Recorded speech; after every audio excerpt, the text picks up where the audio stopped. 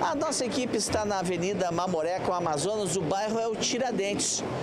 O Otaciano tem 41 anos de idade e ele estava nesta parada de ônibus quando ele foi visto por populares fazendo sabe o que? Atravessando a rua e levando o encosto deste banco que fica nesta parada de ônibus. Mas só que o seguinte, pessoas viram quando o Otaciano de 41 anos de idade estaria já atravessando a rua com esse encosto e foram lá e detiveram o Otaciano. Chamaram aí a polícia militar. O Otaciano ainda tentou fugir dos populares, mas não conseguiu. Você estava trabalhando e viu a ação aí desta pessoa pessoa. E o que, que aconteceu? No, no momento que estávamos aqui na loja, estava ocorrendo o jogo da seleção brasileira, e aí o meliante furtou o banco ali da parada, né? Ele mesmo arrancou com as próprias mãos dele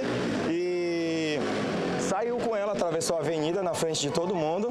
E assim, aqui na Gaza a gente, a gente tem, é bem atento a essa, esse tipo de coisa, né? A gente tem a segurança aqui e a gente na hora viu mesmo e localizou, já na rua mesmo, fez ele trazer o, produto de volta, acionou a polícia, veio e deteve o meliante.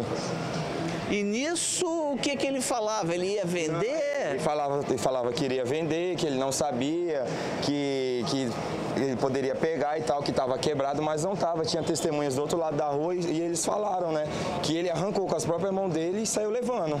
Ao ser indagado pelos policiais militares, o Otaciano disse o seguinte, que levaria o encosto aqui deste banco da parada de ônibus para um ferro velho, sucata, e venderia aí esse objeto. Mas só que ele acabou se dando mal, porque o Otaciano já tem passagens pela polícia e foi levado para o departamento de flagrantes, onde o delegado de plantão tomará as medidas cabíveis que esse caso requer.